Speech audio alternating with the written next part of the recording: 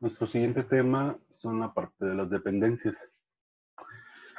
En cuanto a dependencia, eh, vamos a mm, definirla como una relación que hay eh, entre dos atributos. Ya no vamos a revisar, por ejemplo, la asociación que hay entre dos entidades, sino ahora son entre dos atributos o más, por supuesto. Empezamos con la definición de una dependencia funcional.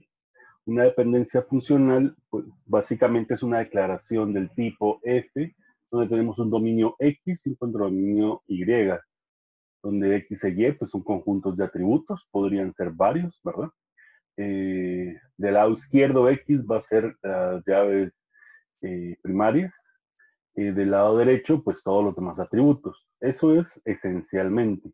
Sin embargo, pueden haber muchas dependencias funcionales a los cuales la X no es una llave primaria, podría ser cualquier otro atributo. Entonces ahí es donde empezamos nosotros a clasificar las dependencias para poder aplicar eh, posteriormente la normalización. Eh, podemos leerlo como Y es funcionalmente dependiente de X o que X determina funcionalmente a Y. Como F no es conocida, porque no es un cálculo como tal, eh, la podemos omitir. Entonces, por eso las dependencias funcionales se resumen solo eh, con X, raya, Y. Esa raya con una flecha, ¿verdad? Entonces, eso significa que X determina funcionalmente a Y. Hablemos un poco acerca de las funciones. Solo déjenme ver. Aquí empezamos con las expresiones. Ah, aquí está un poquito más blanco. Si se recuerdan, por ejemplo, uh, pensemos en un plano cartesiano, ¿sí? Está muy torcido.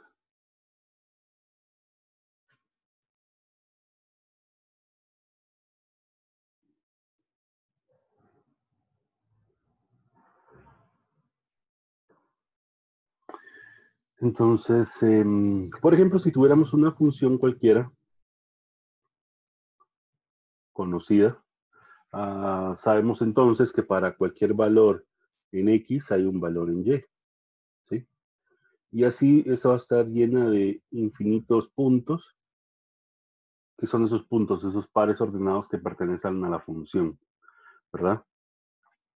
Entonces aquí decimos que y es igual a x al cuadrado, por ejemplo, entonces eh, formamos esta, esta gráfica.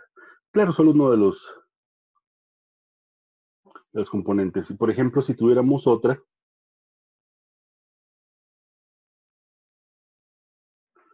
voy a poner por acá.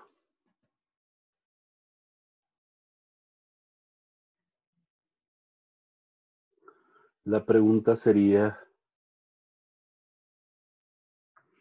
¿será que esta es una función?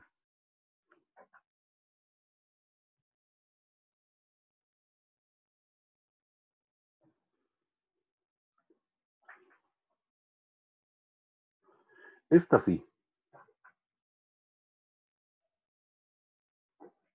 Pero esta no. Exacto, porque tenemos dos imágenes. Para cada valor de X, tengo una imagen y otra imagen que son distintas. ¿sí? Por ejemplo, que fuese aquí un 4 y aquí menos 4. ¿Verdad? Incluso si quisiéramos hacer eh, la otra parte de esta, que siga para acá, ah, un valor de acá también tiene un valor eh, en Y y tal vez es el mismo, pero son X diferentes. Para cada valor de X le corresponde uno de Y, para, cada valor de X le corresponde uno de Y. En cambio aquí, para cada valor de X hay dos Y.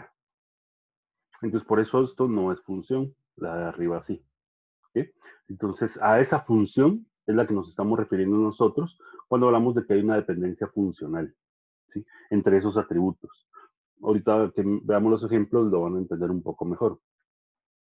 Para poder expresar las dependencias funcionales, eh, pues básicamente lo que hacemos es ah, describirlas. Por ejemplo, vamos a tener aquí una relación R que va a tener ah, una llave primaria que está compuesta. Además tenemos dos atributos que no son parte de la llave. Y además un conjunto de dependencias funcionales, en la cual me dice que A y B es la llave primaria que determinan funcionalmente a D. Pero además hay otra dependencia donde está solamente A que determina a C. Entonces eh, hay un problema ahí. Eh, ¿Cuál es el problema? Que A forma parte de una dependencia funcional y solamente A no es la llave primaria. Entonces, es básicamente esta dependencia le llamamos una dependencia parcial. Entonces, esa dependencia parcial nos puede afectar cuando estemos viendo el proceso de normalización. Ahora, veámoslo desde un punto esquemático. Ah, porque por teoría de conjuntos, pues sí nos podemos dar cuenta, pero em, tendríamos que ver. Ahora, otra cosa. Eh, por ejemplo, si yo definí una llave primaria, por ejemplo A y B, eh, significa que yo tengo dependencias funcionales desde AB hasta hacia todos los atributos. ¿sí? El diagrama esquemático eso sí se nota.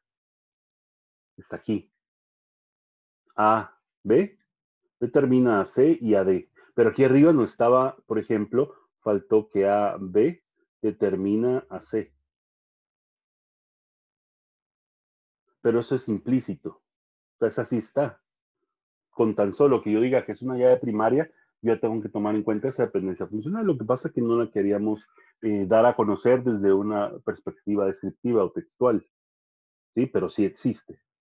A, B que determina C también, porque es una llave primaria. Pero lo que queríamos describir era esta, ¿verdad? Que A determina C. Entonces, eh, pues básicamente eso es lo que queríamos describir.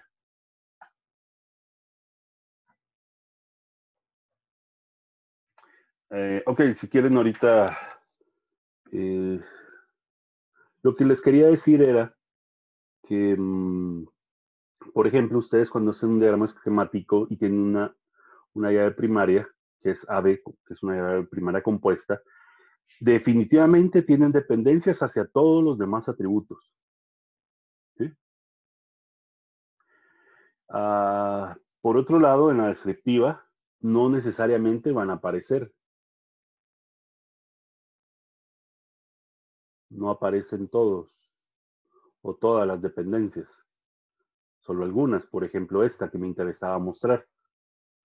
Ahora aparece otra que no es con la llave primaria, que de hecho en el diagrama esquemático está dibujada aquí abajo, que va de A hacia C. ¿Por qué existe esa dependencia funcional? Habría que ver la, relación como tal, por qué fue que apareció, ¿verdad? Ahí hay un error, ¿verdad? Entonces, por eso le llamamos parcial, porque no eh, es determinada completamente por la llave primaria. La llave primaria son los dos atributos, pero aquí estamos diciendo que solo es un atributo el que la determina, ¿sí?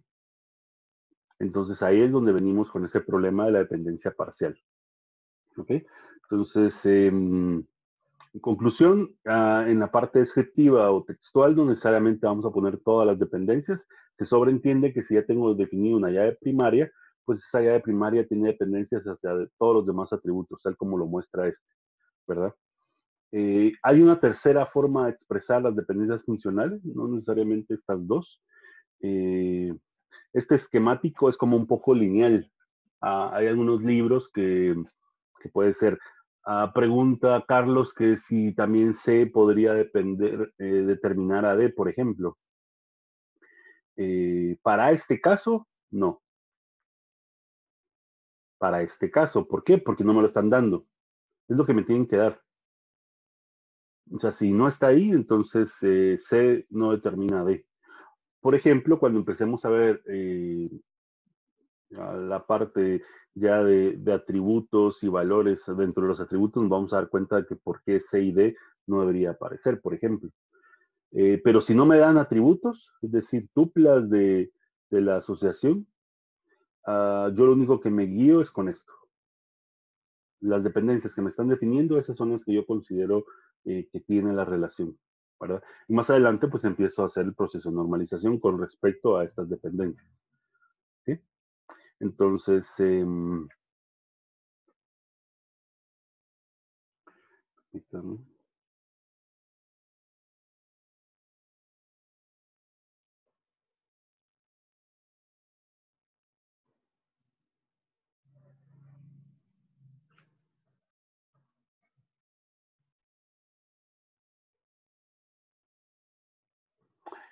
Como les decía, hay una tercera forma.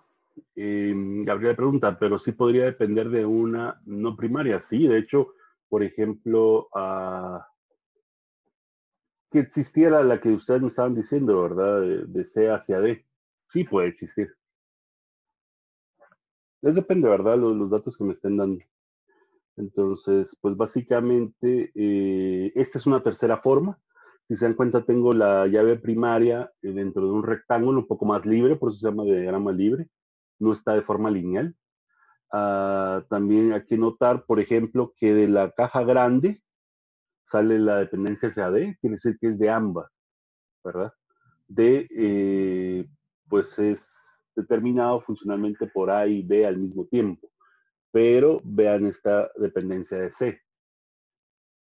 A determina funcionalmente a C, pero solamente A, no B. Entonces la flecha sale de la caja de A, ¿verdad? Entonces eh, ahí podemos darnos cuenta de la diferencia eh, y que es equivalente con la anterior, por supuesto, ¿verdad? Las tres dicen lo mismo. La forma descriptiva textual o el diagrama esquemático lineal o ya sea este diagrama libre. Entonces, em, empecemos a hablar de las dependencias funcionales eh, y su relación que tiene con las llaves candidatas. Por ejemplo, nos piden determinar la llave candidata. Ah, para poder determinar la llave candidata, vamos a definirla como eh, el atributo con el cual tiene dependencias funcionales hacia los demás atributos que básicamente es como definir una llave primaria, pero vamos a decirle candidata porque todavía no hemos hecho la elección o la selección de qué candidata va a ser la llave primaria. ¿sí? Entonces, eh, pues básicamente lo que queremos es uh, hacer como pruebas. Ahora sí me están dando valores, entonces yo lo único que tengo que hacer es eh, tomarlo en cuenta como si fueran un juego de imágenes. ¿sí? Por ejemplo, uh, Permítame. Eh, la pregunta es, A determina B. Entonces, para responderla, yo lo que necesito es, lo voy a quitar de acá, eh, para responderla, como le repito, yo lo que necesito es verificar si cada uno de los atributos, eh, pues, son determinados por A. ¿Qué significa eso? ¿Será que 1, su imagen es X? ¿Sí? 2, su imagen es Y? ¿Sí? De hecho, estoy haciendo esto, ¿verdad? 3, su imagen es Z. Ok, está bien. Y la pregunta es, ¿4 puede tener de imagen a Z?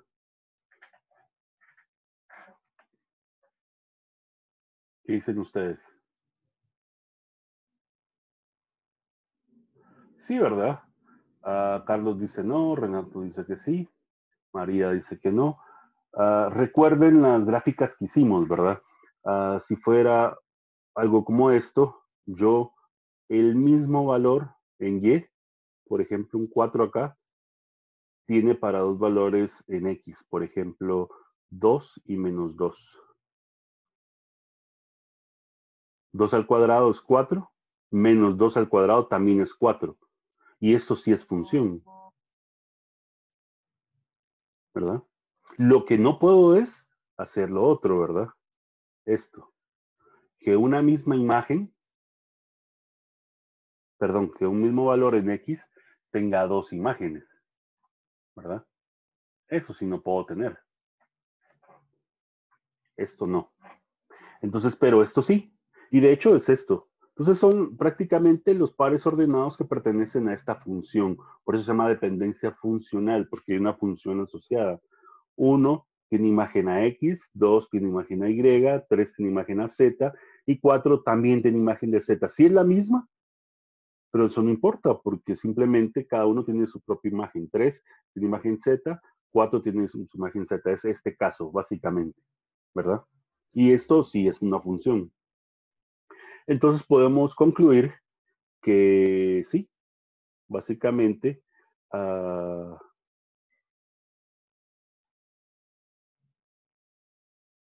A determina B, funcionalmente hablando. ¿sí? Luego tenemos que pasar por los demás, eh, las demás pruebas. Por ejemplo, si A determina a C. Si A determina a C, significa que yo debería tener, por ejemplo, que de 1 tengo imagen 1, pero en romano. 2, 1 en romano. Otra vez lo mismo, ¿verdad? Pero estamos en este caso. ¿sí? 3, eh, 3 en romano. Y 4, 4 en romano, ¿verdad? Lo que hicimos fue exactamente esto.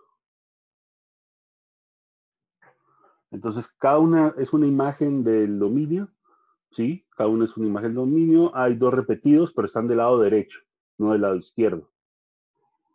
Entonces podemos también concluir que también cumple, que es una dependencia funcional. ¿sí? Entonces, em, también. Y como no hay más atributos que hacer, entonces, eh, pues básicamente lo que dice es que A es, perdón,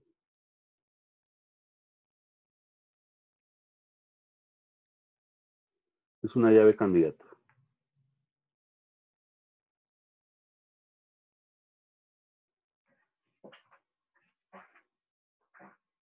¿Sí?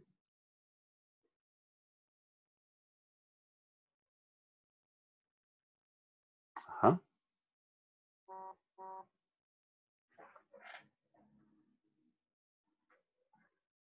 Sí, habría que analizar si... Mm,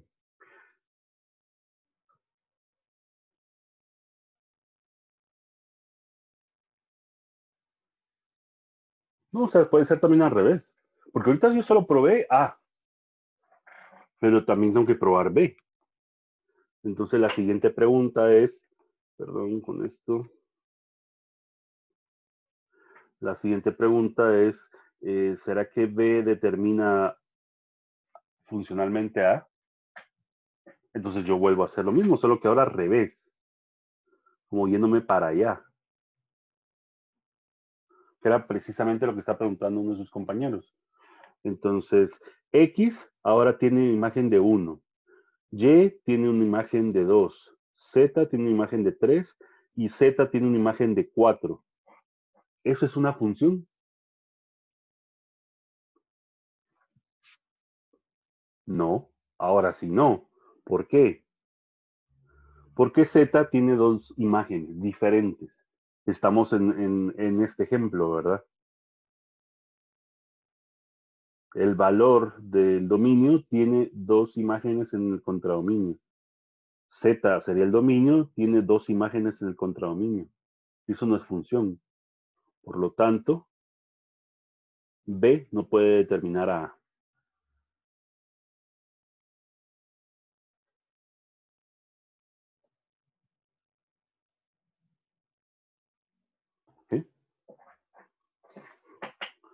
También tengo que hacer la otra prueba.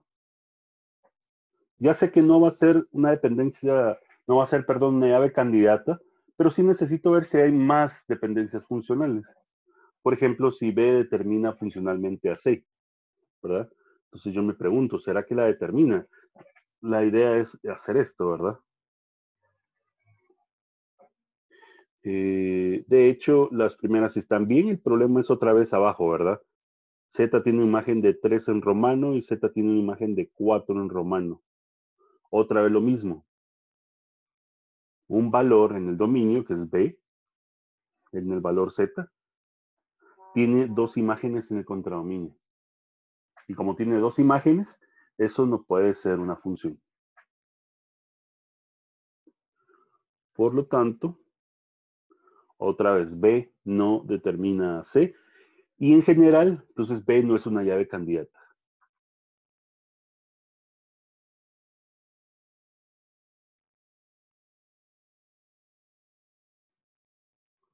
¿Verdad? B no es una llave candidata. No puede ni ser ni, ni tener una dependencia parcial siquiera, ¿verdad? Entonces, ahí es donde nosotros empezamos a ver que son dependencias funcionales. Eh, y si se dan cuenta, estamos analizando una sola relación, o, si lo quieren ver como una tabla, una tabla relacional, solo es una tabla, no estamos viendo la asociación que hay entre entidades, solo es la asociación que hay entre atributos. ¿sí? Y de eso se trata la parte de la normalización, que posteriormente en la próxima clase vamos a empezar a ver. Finalmente, tengo que hacer también la prueba con... Eh, con los valores de Z, porque también podría haber, por ejemplo, perdón, de C. Eh, C que determina A y si C determina B. Porque si hay alguna dependencia eh, funcional, pues entonces va a ser parcial. O podría ser que C también sea una llave candidata, no lo sabemos. Entonces vamos a preguntar si C determina a A. Uh, de hecho, aquí C es un valor de uno romano que tiene un una imagen de uno. Eh, perdón, aquí es...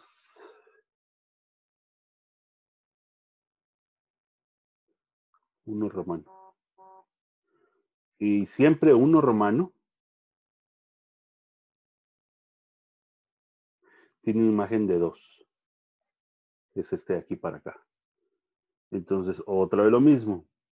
Mismo valor en el dominio, con diferentes imágenes en contradominio, eso no es una función, por lo tanto, eh, este no, no es una dependencia funcional, C hacia A. Y C hacia B, uh, vamos a ver. C hacia B, podemos decir que uno romano tiene una imagen de 1, uno en romano tiene imagen de 2, perdón, hacia B. Estoy colocando otra vez los de A. Hacia B, este es X, este es Y.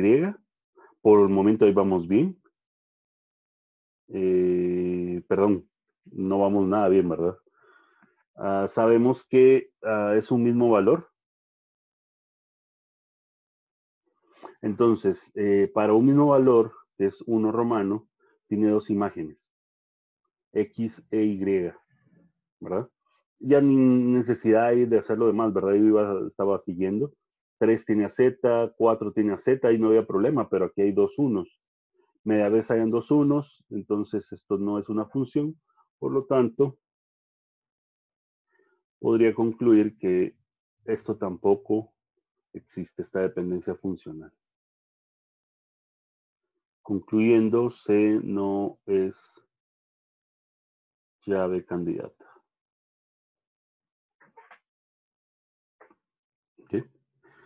Entonces, lo único que tengo es esto. Y claro, alguien va a decir, sí, eso era lógico. A tiene como un correlativo, entonces ese iba a ser la llave. Sí, pero hay que probarlo, ¿verdad? Entonces, eh, lo que pasa es que también es un ejemplo muy sencillo. Solo es para que ustedes se dieran cuenta cómo es que se calculan las dependencias funcionales. Uh, en un ejemplo real, Ustedes lo que tienen que hacer es eh, poblar la base de datos. De hecho, en uno de los ejercicios que, que todavía vamos a hacer, uh, después de que ustedes hacen un modelo, lo que tienen que hacer es eh, meterle valores de prueba. Entonces, esos valores de prueba son los que nos sirven a nosotros para determinar estas dependencias, que básicamente serían estos datos, ¿verdad? U otros inventados dependiendo del tipo de asociación que estemos haciendo, ¿verdad? Entonces, ya con eso podríamos analizar lo de la parte de las llaves candidatas. ¿Ok? Eh, ¿Alguna duda hasta acá?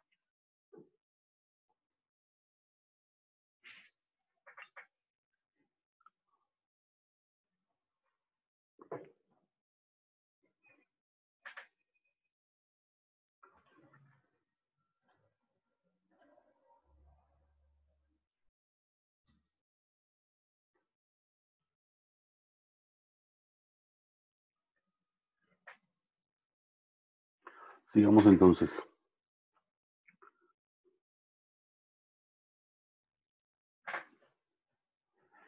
Por lo tanto, es una llave candidata y por ser la única, ya podríamos definir que es la llave primaria, ¿verdad? Porque no hay otra.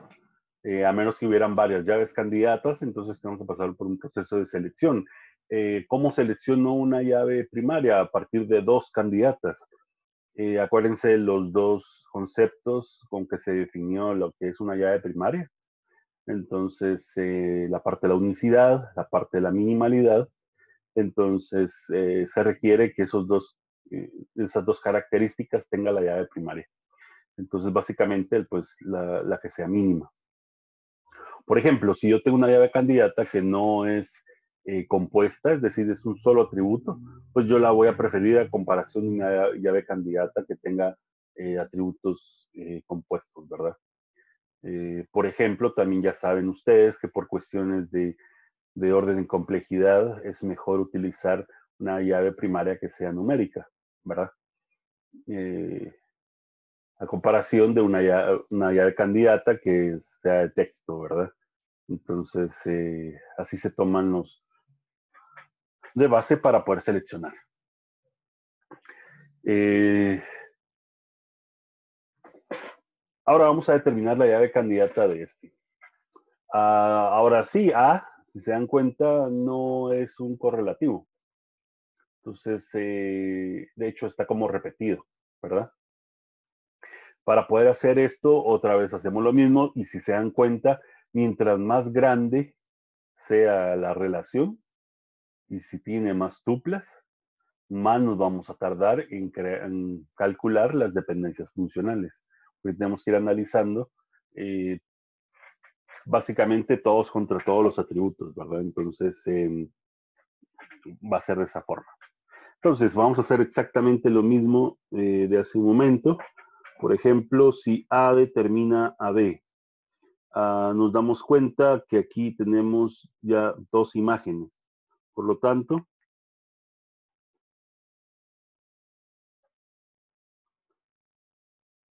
Ya sé que no. Sigo. A determina C. ¿Será que A determina C? Eh, otra vez, 5 tiene imagen de 200, 5 tiene imagen de 100. No. A determina a D.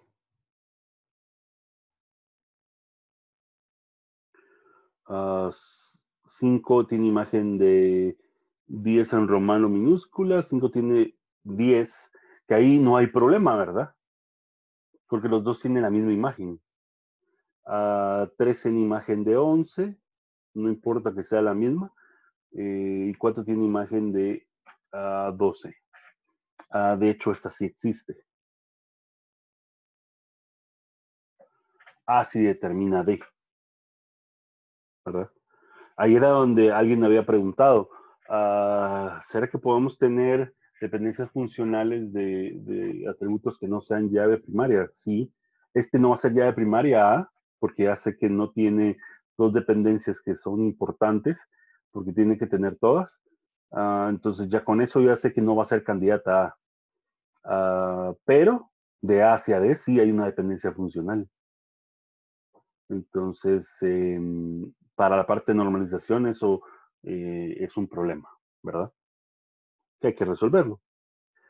De A hacia E, 5 tiene imagen de 10, 5 tiene imagen de 12, son diferentes, por lo tanto, esta tampoco.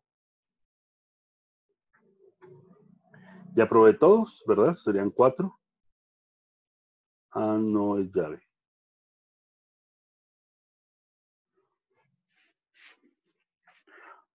Ahora sigo con B. ¿Será que B determina A? Eh, no, porque aquí hay dos valores que son iguales en el dominio, pero tiene valores diferentes en el contradominio. Con eso ya sé que esto no se cumple. Perdón. B determina C. Eh, Déjenme ver. Estos dos sí están bien. Ah, y los demás también. Esta también existe.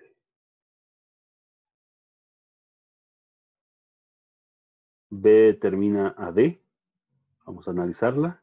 Dos valores iguales a B tienen valores iguales en el dominio, en el contradominio, entonces no hay problema. De cada quien su propio valor, esta también existe. Y por último, preguntan si B determina a E. Ah, B hacia E. Es así no, ¿verdad? Porque tengo dos AB que tienen imágenes diferentes en el contradominio. Esto no es función. Por lo tanto, um, B tampoco es llave. Estamos hablando de llaves candidatos, ¿verdad? Todavía ni siquiera estamos hablando de primarias. Ah, luego pasamos con C. Lo voy a poner aquí arriba.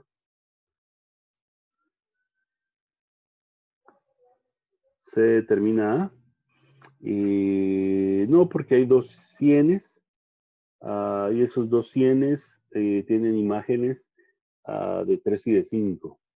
Pregunta Renato. ¿Qué pasa si una tabla no tiene ninguna llave candidata unitaria. empezamos a, combinar eh, valores. Es decir, ah, si pasé por todas, por ejemplo, y no hay ninguna que sea llave, entonces empiezo a B. Y todas las posibles combinaciones. A B, A, C, A, D, A, E, o puede ser BA, BC, BD, solamente así, o CA, CB, CD, CE, o DA, DB, DC y DE. Esas serían las posibles combinaciones. Tendría que probar cada una de ellas juntas si también hay dependencias eh, a todos los valores. Y la que lo tenga, pues es una llave candidata. Entonces, em, C hacia A estábamos, de C a A, no porque hay dos cienes que tienen imagen de 3 y de 5 entonces no es una llave, eh, no es una dependencia funcional. Ah, luego de C hacia B, de C hacia B es así. Los dos cienes tienen AB. No hay problema. De C a D. Mm, sí, también. Y C casi que era una una llave candidata, ¿verdad? Pero por CA no funcionó. De C hacia E, ah, tampoco, ¿verdad? De 100 tiene 11 y 100 tiene 12. Entonces, imágenes distintas, por lo tanto, ah, no me sirve. Pero vean que hay dos, uh, dos que sí lo son. C no llave candidata. De ahí pasamos con D. D con A. no, porque tiene tres valores y tiene diferentes en el dominio. D con B. Tampoco. Eso está más difícil porque son tres valores acumulados, ¿verdad? las tres primeras tuplas de D son iguales las tres deberían de tener iguales en todos los demás atributos. Por ejemplo, de D a C, ah, tampoco, porque hay un 200 y un 100 para el mismo. Entonces, esa tampoco es dependencia.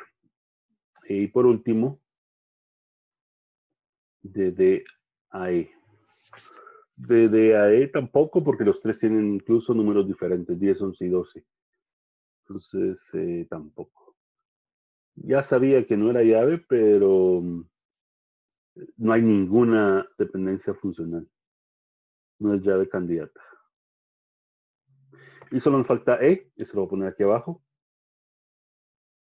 E hacia A. Y él, si se dan cuenta, Era es el correlativo, ¿verdad? Ese sí tiene que funcionar. Los cuatro son distintos, no importa que hayan valores repetidos 5 y 5, de todos uno es para imagen de 10 y el otro es para la imagen de 12. Entonces, aunque fuera el mismo valor, sí es una función. Entonces, sí. De hacia B, lo mismo, ¿verdad? El 11 y 12 comparten la misma imagen AB, pero es eh, comparte la misma imagen, no tiene dos imágenes. Entonces también está bien. De E hacia C. Eh, también, cada quien tiene su imagen, 11 tiene 100, 12 tiene 100, comparten la imagen, pero es una para cada uno, por decirlo así.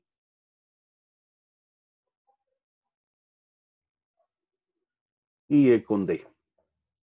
Que también, ¿verdad? 10, aunque tenga 11, 11 tiene a 11 y 12 tiene a 11, los tres tienen la misma imagen, eh, pero ah, lo que me importa es que cada, tenga, cada quien tenga su imagen y no tenga más de una imagen para definirlo como una función.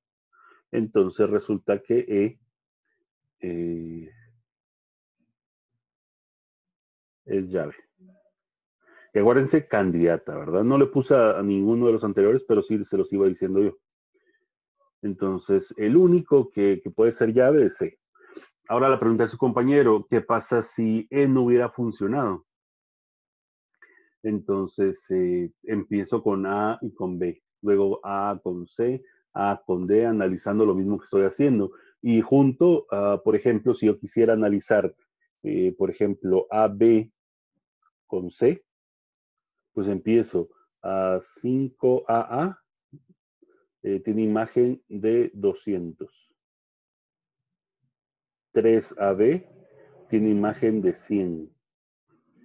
A 5AB, y se dan cuenta, aunque fuera 5, pero el otro también tiene un 5, pero de todos modos es AA y el otro es AB. Entonces ahí no hay problema, ¿verdad? Entonces este tiene 100. Voy a poner arriba, ah, yo creo que sí se mira, pero 4BC tiene imagen de 400. Entonces ya no hay problema con el 5, ¿verdad? Que tenía imágenes distintas, porque ahora el 5 le acompañan dos letras más que ya no importa. Entonces, eh, por decirlo de esta manera, eh, eso estaría bien. Y así podríamos seguir, ¿verdad? Pero si ya encontramos una llave candidata de un atributo, pues entonces ya no tenemos que hacer esto. Eso solo es si dado el caso ah, no habíamos encontrado ninguna llave candidata, ¿verdad? Entonces, eh, ¿cuál sería la llave primaria? La única llave candidata que hay. Si solo hay un candidato, pues ese va a ser el que gane la elección. Entonces, em, dicho de otra manera, podríamos decir de una forma descriptiva.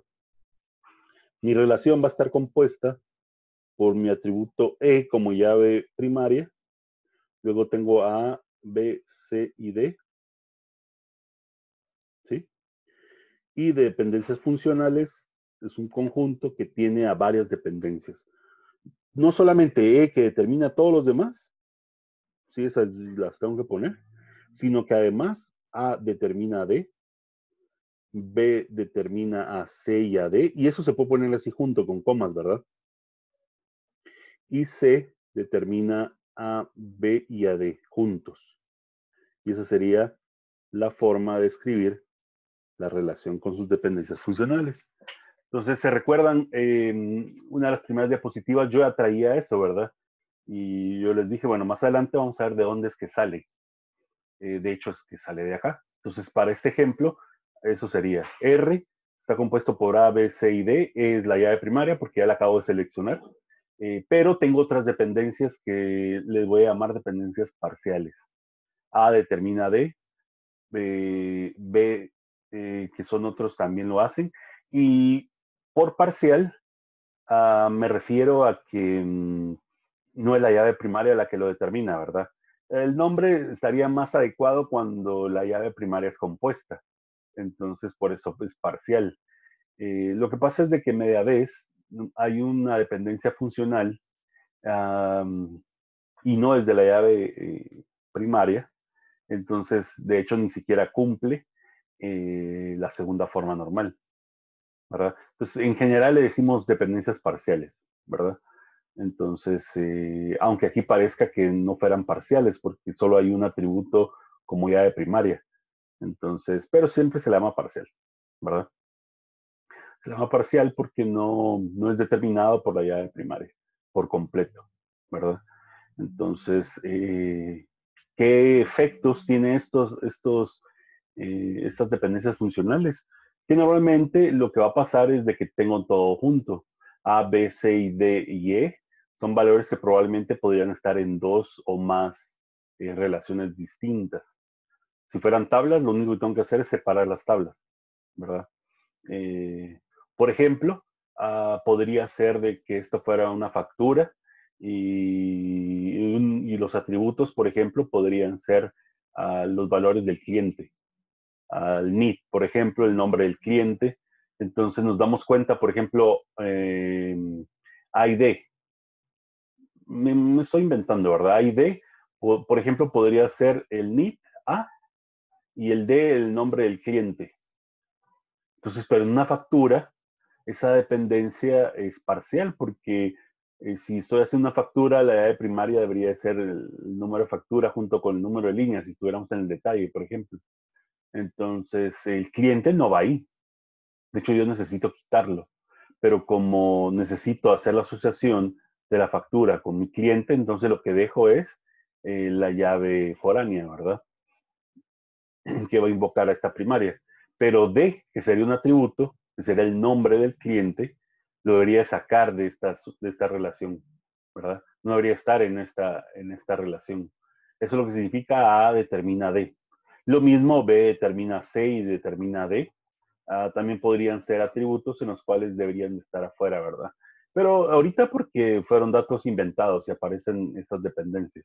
Pero normalmente ustedes cuando hacen su modelo, ah, como les decía desde un inicio, ah, tratan Ah, de forma, mejor dicho, sin saberlo, tratan de que ya esté normalizado, ¿verdad? Entonces, eh, ¿perdón?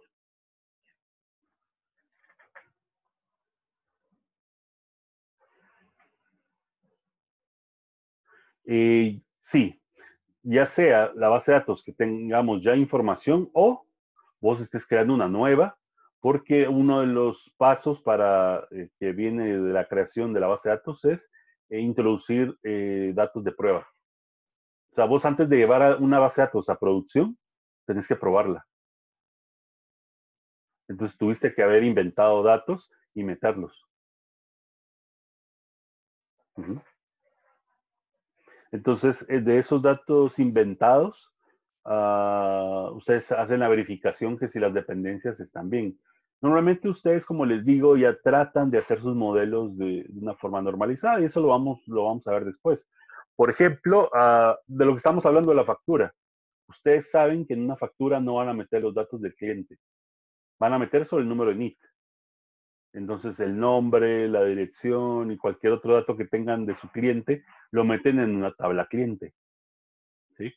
Entonces, como ya es, ustedes lo hacen normalmente, eso es parte de la normalización.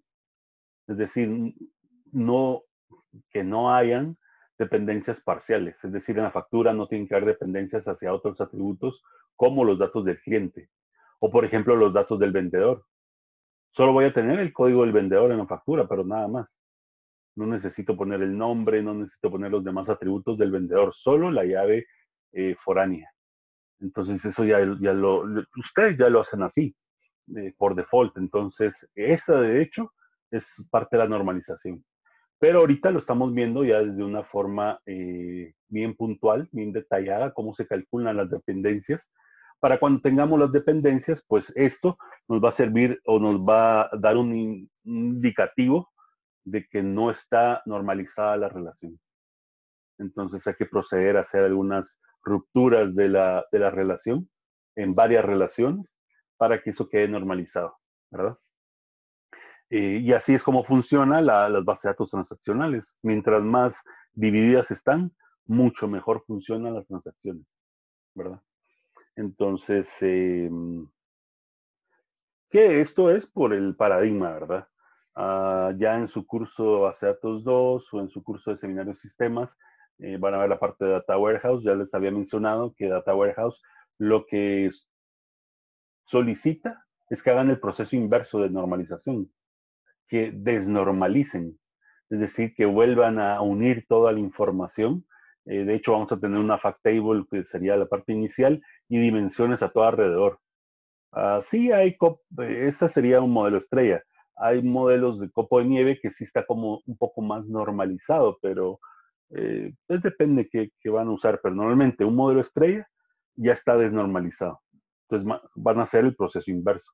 Pero es porque el paradigma así lo requiere y porque estamos calculando otra cosa, ¿verdad? No estamos descomponiendo la base de datos, sino queremos tener una imagen de la base de datos para dar eh, información un poco más, eh, llamémosle, gerencial, si hay junta directiva o si hay presidente, si hay gerente, a, lo que hubiera. Entonces, esos datos para toma de decisiones. Eh, por ejemplo, un gerente no necesita saber que se le vendió tantas, tantas unidades de un producto a tal otro, a un cliente, por ejemplo. Él le interesa saber cuánto vendió al mes, cuánto perdió en el mes, uh, cuánto tiene inventario, etcétera, etcétera, etcétera. Entonces, él necesita esos números en resumen. Y eso es lo que hace un data warehouse, ¿verdad?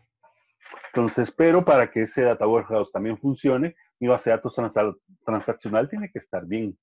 Pues para que esté bien, hay que, tiene que estar normalizada, ¿verdad? ¿Alguna duda hasta acá?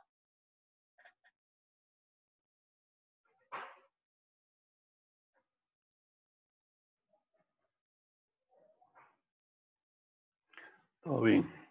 Bueno. Sigamos.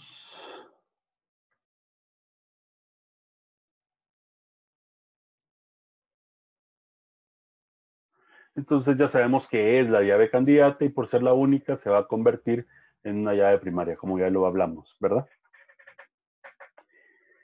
Eh, también hay veces que nosotros no tenemos esos datos, sino que solo tenemos eh, las dependencias funcionales. Entonces, como ya tenemos las dependencias funcionales, eh, necesito sacar a partir de esas dependencias, definir quién va a ser la llave al principio candidata para seleccionar la llave primaria, ¿verdad? Entonces necesitamos algunas reglas de inferencia. A estas reglas de inferencia las propuso William Armstrong en el año 74. Son conocidos como las axiomas de, los axiomas de Armstrong. ¿sí? Hay tres. Está la parte de reflexividad, la parte del aumento y la parte de la transitividad. Eh, básicamente la reflexividad dice que si Y está contenido en X, entonces Y, perdón, X determina funcionalmente a Y.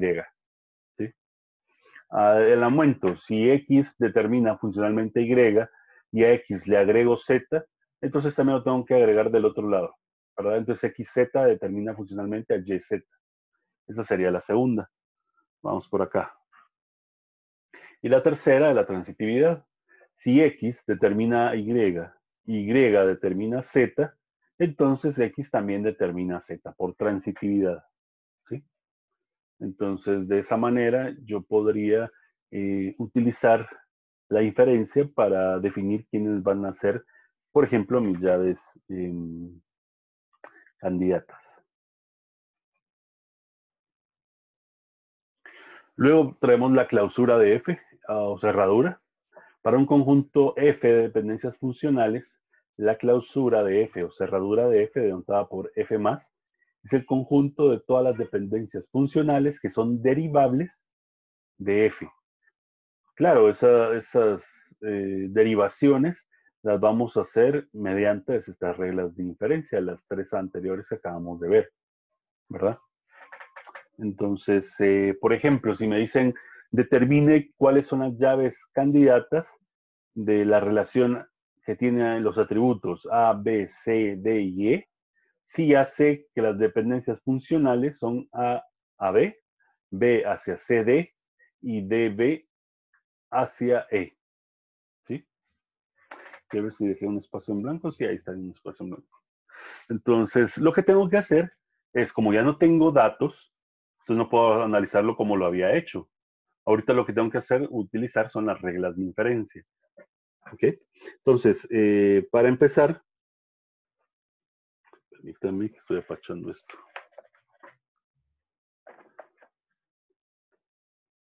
Para empezar, entonces, yo eh, calculo, por ejemplo, la cerradura o la clausura de A. ¿sí? Solo quiero verificar si es o no una llave candidata. ¿Ok? Entonces empiezo. Por ejemplo, A. Permítame.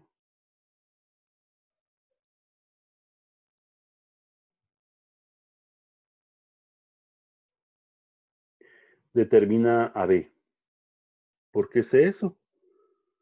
Ah, de hecho, aquí me, la, me salté, ¿verdad? Permítame un momento. Es, es este, perdón. Me había adelantado una. Ah, a determina B. ¿sí? Pues por eso sé que, que eso está de esa manera. ¿sí?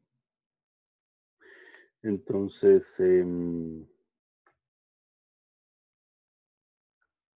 ¿qué más puedo hacer con eso?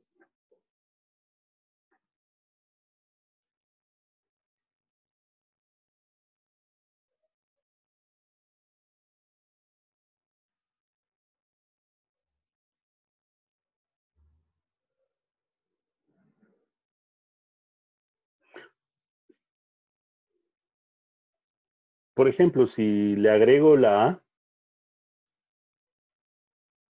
sí, el otro es el otro ejemplo, pero este sí es el primero.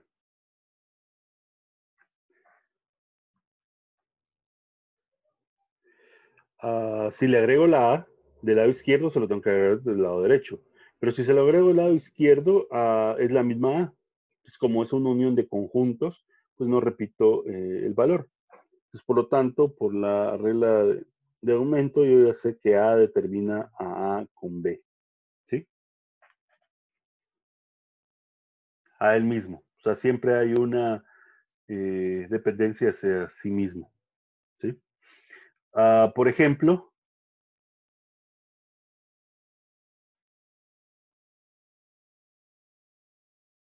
pregunta alguien, solo déjenme ver porque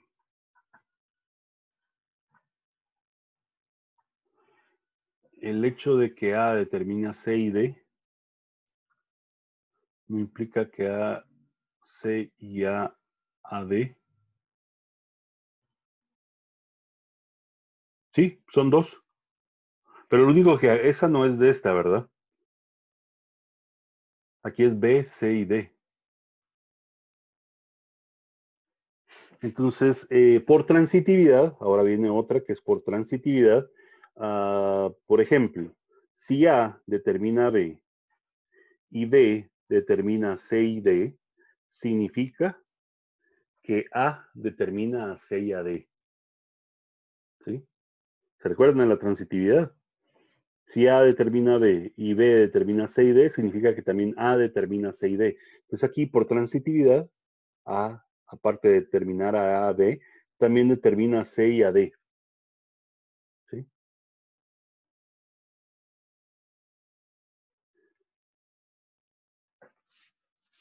Luego está esta. BD determina a AD. Entonces, yo podría incluso eh, separarlo. A que determina a BD. De hecho, ahí está adentro, ¿verdad? Y si BD determina E, por transitividad, A determina E también. ¿Sí?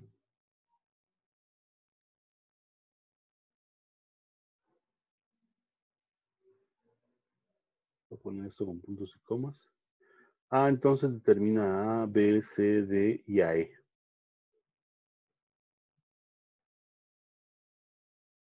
Entonces puedo concluir que A es una llave.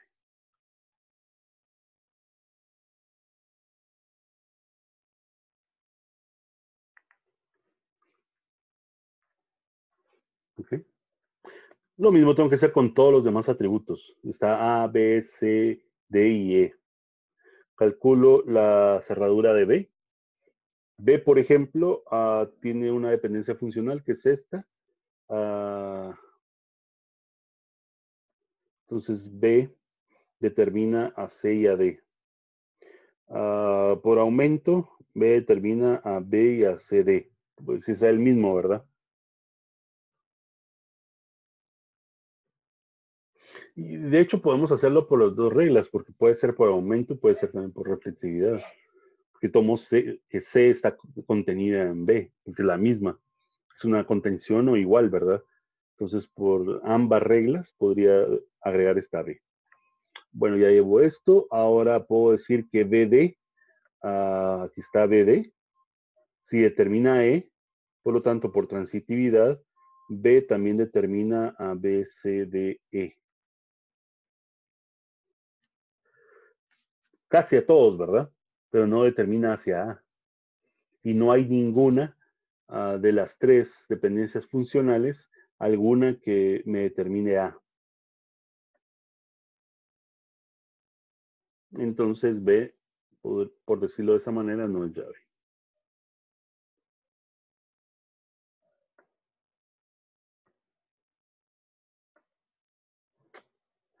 Permítanme. Entonces aquí B no es llave. Sí está claro por qué no, no es llave, ¿verdad? No, no logré alcanzar a todos los atributos desde B por medio de estas reglas de inferencia. Entonces, como no logré, en cambio A sí logró. B no. C. A C. C tengo un problema aún más grande, ¿verdad? Del lado izquierdo de todas las dependencias funcionales no aparece C.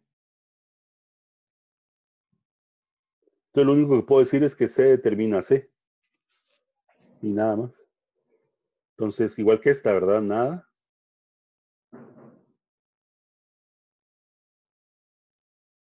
Ese tampoco. C no es llave.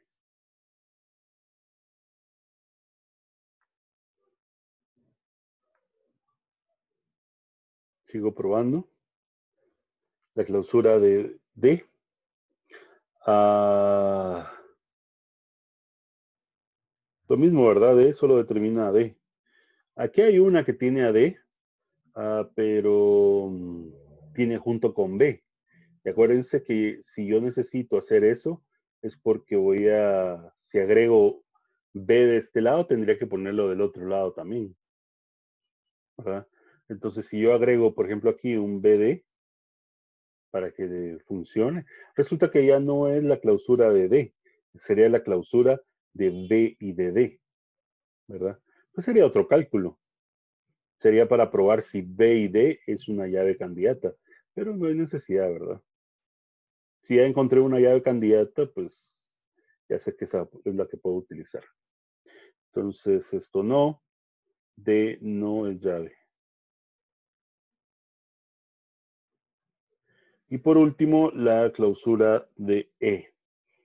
E otra vez por eh, las tres dependencias funcionales, del lado izquierdo no aparece. Entonces lo único que puedo hacer es que E determine a E, pero eso no me sirve para nada. E no es llave.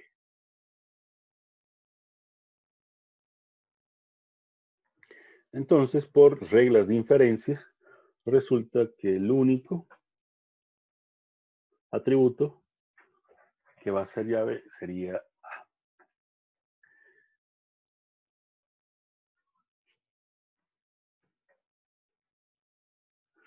El problema es que si tienes varias llaves candidatas, uh, eso te puede dar problema también. De hecho, uh, fue un, no fue un error, porque no es un error, lo que pasa es que lo dejaron pasar. COD inicialmente define la primera, segunda y tercera forma normal. Uh, posteriormente eh, aparece la cuarta y la quinta, por el año 77 79. Entonces, eh, el problema fue de que a COD le dijeron de que dentro de su primera, segunda y tercera forma normal no cubría a un aspecto de las llaves candidatas, lo que vos estás preguntando. Que con una que tuviera ya era suficiente y, no, o sea, si hay otras que pueden salir, resulta que van a haber dependencias entre ellos, entre esas llaves candidatas que no tomé en cuenta. Entonces, cuando existan esas dependencias, eso me puede dar problema. Entonces, eh, por eso es de que aparece una forma normal, no con número, sino con letras, porque se lo definieron eh, después de la definición de todas las dependencias funcionales, fue posterior. Ah, y a esa forma normal se le llama la forma normal de voice code, porque voice es otro ah, autor que le ayudó a Code a definir precisamente esa, esa forma normal, que tiene que ver con llaves candidatas, ¿verdad? Entonces, eh, tengo que calcular todas. Entonces, por ejemplo, si A ya había dicho que era una llave candidata, ah, necesito verificar si hay alguna más. Entonces, por eso probé con B, probé con C, probé con D, probé con E, y no, ninguna llave, entonces ya puedo estar tranquilo, ya puedo decir que A es la llave candidata y por lo tanto A va a ser la llave primaria. ¿Okay?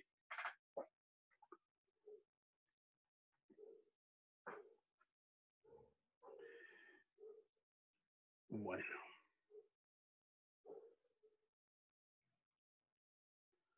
Ahora hagamos otro ejemplo, muy parecido, por eso es de que me estaba pasando entre los ejemplos. Eh, este también es una relación, solo que tiene eh, atributos A, B, C y D, y tiene dependencias funcionales BC que determinan A y ABC que determinan a B, a D, perdón. Pues que tengo que hacer lo mismo por uh, las clausuras, calcularlas. Por ejemplo, la de A. Resulta que A, A del lado izquierdo solo aparece cuando está en conjunto. Entonces A determina A y solamente, ¿verdad? Entonces esta no es llave. ¿Sí? De ahí me pasó con B. Clausura de B. A B del lado izquierdo tampoco. C del lado izquierdo no hay ninguno solo. De hecho, no hay ninguno solo de, ninguno, ¿verdad? Ni D tampoco. Lo único que puedo alcanzar con D es a él mismo. Entonces, no me sirvió ninguno de los, de los cuatro, que era una de las preguntas que unos compañeros hacía. Ah, ¿Qué pasa si no encuentro dentro de las llaves candidatas valores eh, en los cuales solo es de forma unitaria, llamémosle así, entre comillas, ¿verdad? Eso de unitaria. Ah, entonces tengo que empezar con, con, atributos que sean compuestos, ¿verdad? Para conformar la llave primaria. ¿Qué va a ser la candidata? Primero es candidata y luego primaria. Entonces, ¿qué tengo que hacer? Todas las posibles combinaciones, ¿verdad? Eh, por ejemplo, probar A con B, A con C, A con D, B con A, B con C, B con, uh, perdón, B con D, uh, C con A, C con B, C con D, y D con A, D con B, D con C. Y si de dos no me funcionan, empiezo de tres. Y si no, los cuatro, ¿verdad? Eh, si se dan cuenta, ahora son bastantes, ¿verdad? ¿Será que puedo ahorrarme un poco el trabajo eh, para determinar quién va a ser la llave candidata?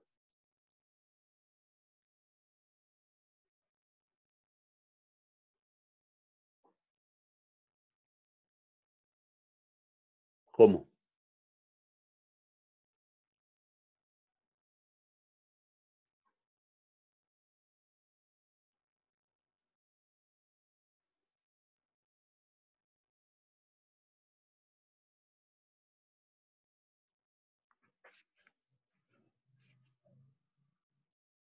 Y vean este punto.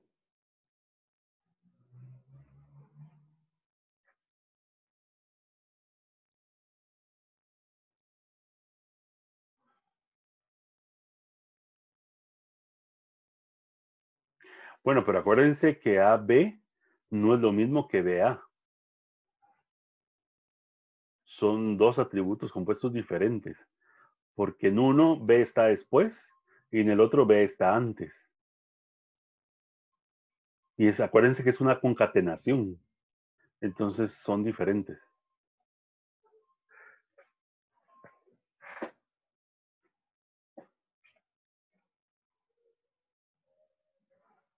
Ahora, si te referías al cálculo de la clausura, sí, es lo mismo, porque al final de cuentas tengo a los dos ahí. No sé si a eso te referías, eso sí está bien. No necesito hacerlo dos veces. Pero ya, como llave candidata, eh, sí, son diferentes. Pero yo iba más que todo a esto. Vean las dos dependencias que hay.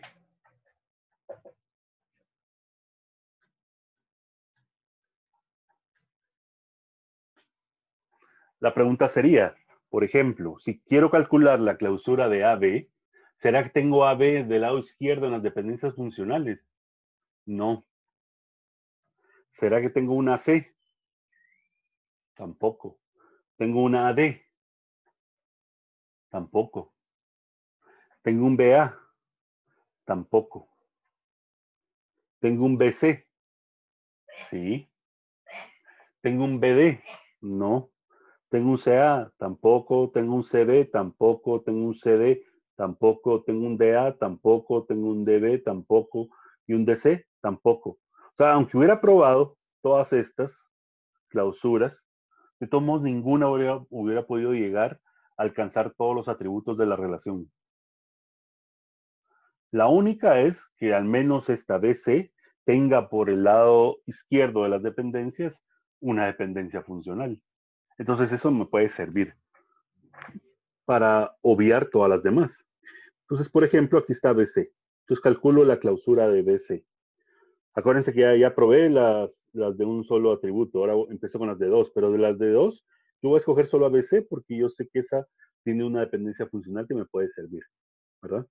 Entonces, BC ah, determina A. Eso es lo que dice ahí. ¿Sí? La primera. Pero además acuérdense que por la parte de reflexividad, BC está contenido en BC. Por lo tanto, BC también determina a A junto con BC, que es el mismo, ¿verdad? Entonces BC es ABC. Y de ahí agarró la otra eh, dependencia. Si BC determina AC, lo voy a poner acá. Si BC determina ABC y ABC determina AD, eso significa por transitividad que BC determina D. Entonces BC determina A, a B, a C y a D por transitividad.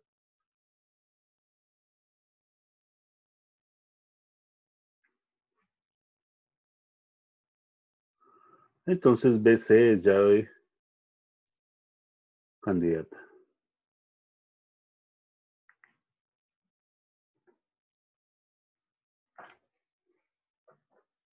¿Qué otra llave candidata? Si es que se me hubieran acabado las de dos, empiezo con las de tres, ¿verdad?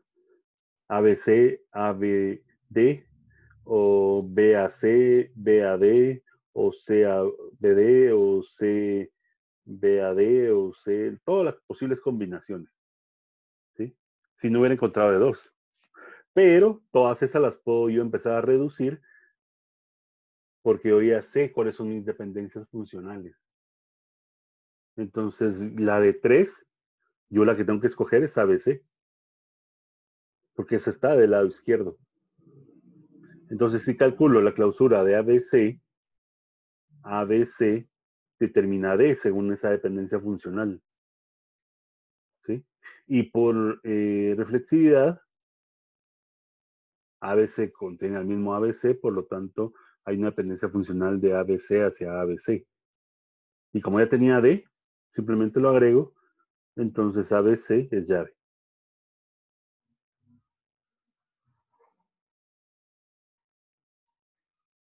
Y todos los demás de tres, las posibles combinaciones, ABD, por ejemplo, ninguna va a funcionar, porque no hay una dependencia funcional que me cubra esa parte, entonces eh, voy a tener problemas, ¿verdad? Entonces, en conclusión, tengo dos llaves. ¿Cuál de las dos sería la llave primaria? aunque no conozco el contenido ah, por minimalidad, yo sé que BC debería de ser la llave primaria. Exacto. El problema sería, ahora piensen que BC, eh, los dos son eh, atributos que tienen un, tipo de dato varchar. B y C. En cambio, imagínense, aquí es el mismo, ¿verdad? Pero que ABC, que BC no estuviera repetido, ¿verdad? Pero imagínense que ABC fuera el conjunto de tres datos numéricos.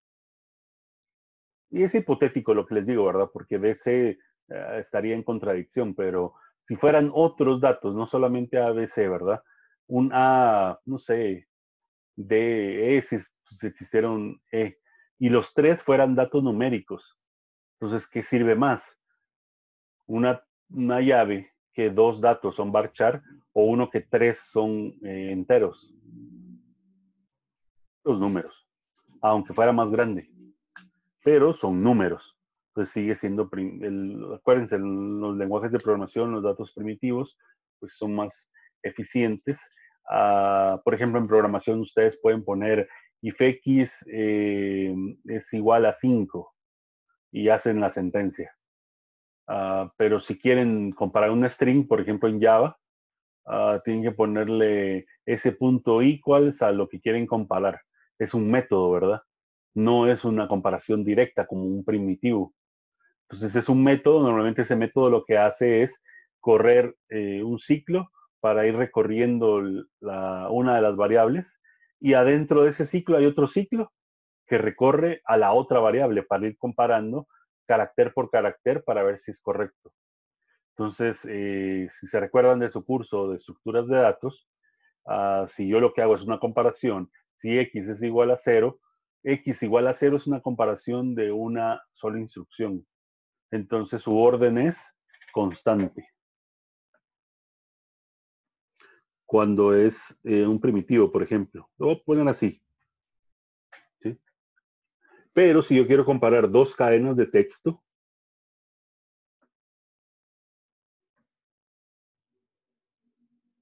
mi orden de complejidad se vuelve cuadrático. Son dos ciclos. Un ciclo, para, un ciclo para recorrer una y adentro de esa otro ciclo para recorrer la otra cadena y por ir comparando posición con posición. Entonces, esa es básicamente la respuesta por la cual se prefieren los números o números enteros como llaves primarias. Su orden va a ser constante, no va a ser cuadrático en la parte de la búsqueda, ¿verdad? Por eso es de que si uno utiliza texto como llave, normalmente hay que construir algún tipo de índice para que la base de datos, en vez de estar buscando eso, busque eh, numéricamente la parte, ¿verdad? Por ejemplo, los índices full text funcionan de esa manera. Entonces yo puedo agregar mucho texto, mucho texto, pero Ah, necesito ahí árboles que son parte de estructuras de datos eh, que me pueden mejorar esas, esos prefijos, por ejemplo, para hacer búsquedas entre ellos. Pero eso ya es otro, otra forma de, ver la situación, ¿verdad? Entonces, eh, aquí lo único que nos interesa es que las llaves sean eh, eficientes, por lo tanto necesitamos que sean numéricas, ¿verdad? Y máximo si son enteros, ¿verdad? Más que solo numéricas.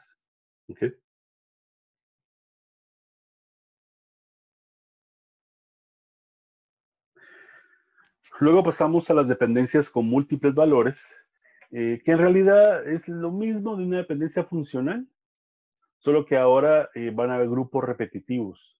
¿sí? Entonces, eh, yo podría tomar, por ejemplo, una dependencia con múltiples valores, por ejemplo, un empleado con los dependientes. Por ejemplo, un empleado X tiene un hijo Y y tiene un hijo Z. Tiene dos hijos, entonces son dos valores entonces hay múltiples valores asociados. Incluso podría juntarlo con algo más. Por ejemplo, el empleado tiene un historial de salario.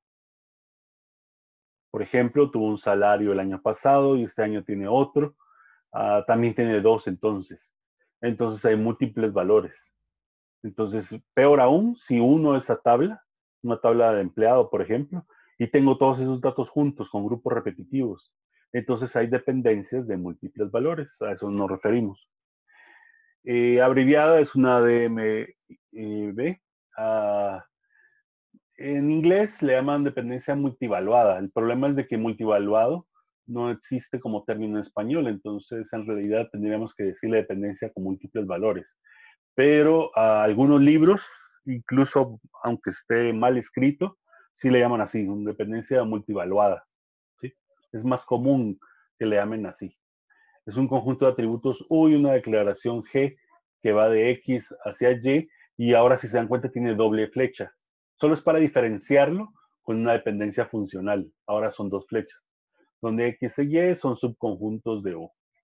En otras palabras, es la dependencia que existe entre dos o más atributos y que estos sean independientes de uno o más terceros.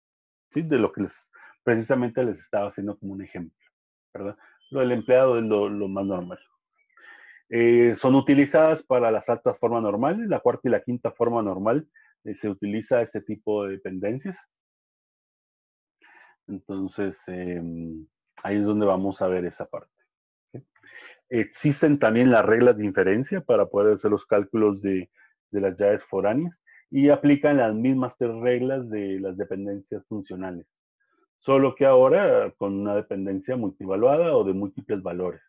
Si X está contenido, si Y, perdón, está contenido en X, significa que hay una dependencia de múltiples valores de X hacia Y.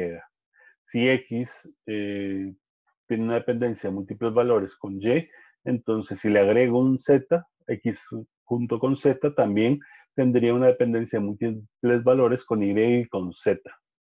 Ese es el aumento. Y la transitividad, si X tiene múltiples valores con Y, Y tiene múltiples valores con Z, por lo tanto X también tiene una dependencia de múltiples valores con Z, por transitividad. Las mismas que hemos trabajado en los dos ejemplos anteriores también se aplica para la parte de, mm, eh, estas dependencias de múltiples valores. Lo importante aquí es em, que existen ah, y cuando empecemos a verlas con la cuarta y quinta forma normal, pues van a quedar un poquito más claras. ¿sí? Pero solo se las quería mencionar. Ah, también están las dependencias de reunión. Una dependencia de reunión, pues básicamente es una restricción sobre la relación igual que una dependencia múltiple, múltiples valores o una dependencia funcional. Ah, la relación R satisface la dependencia de reunión si solo si R es igual a la reunión de sus proyecciones, según X, Y hasta Z, donde esos subconjuntos del conjunto de atributos de R. ¿Qué significa eso? Por ejemplo, si yo hago un join de dos eh, eh, relaciones, me debería de dar la relación original es la dependencia de reunión. Ah, nos vamos a dar cuenta que la cuarta y quinta forma normal, ah, de hecho, se refieren al mismo concepto. Lo que pasa es de que el autor, que se llama Fajín, uh, tomó en cuenta que mm, al principio solo tomó en cuenta las, las, bueno, las relaciones que son dos descomponibles, es decir, dividirlas en dos, porque habían una dependencia de múltiples valores asociada para cada uno de los atributos. Entonces, por eso se separaba en dos. Sin embargo, cuando hay tres o más, pues entonces hay que separarlo en tres o más. Entonces, eh, no tomo en cuenta el caso general de n descomponible. Ah, de hecho, se lo, se lo dijeron a Fajín. Inmediatamente él corrigió y creó la quinta forma normal, pero la quinta forma se refiere a la parte de n descomponible, ¿verdad? Y ahí es donde sobresale la parte de la dependencia de reunión. Pero eso lo vamos a ver bien cuando estemos viendo la parte de la normalización, va a quedar mucho más claro. Eh, hay que mencionar que una dependencia de múltiples valores es un caso especial de una dependencia de reunión donde n es igual a 2. A su vez, una dependencia de reunión de la relación R es una dependencia de reunión trivial si uno de sus esquemas de relación en dependencias de reunión es igual a R, ¿verdad? Entonces, eh, trivial porque posee la propiedad de reunión sin pérdidas, incluso sin generar eh, tuplas extras, que a eso le vamos a llamar tuplas espurias. ¿sí? Ah, como les digo, eso solo es los, son los conceptos, pero cuando empecemos a ver la parte de la normalización, van a ver mucho más claro uh, estos dos tipos de dependencias que vimos de último, ¿verdad? Para la cuarta y quinta forma normal. Entonces nos quedamos ahí el día de hoy.